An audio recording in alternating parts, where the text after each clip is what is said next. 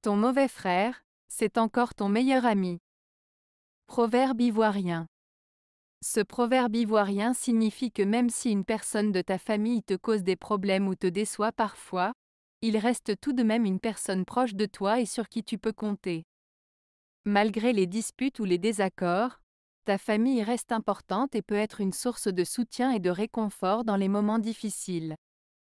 Cela souligne l'importance des liens familiaux et la capacité à pardonner et à rester proche malgré les différences.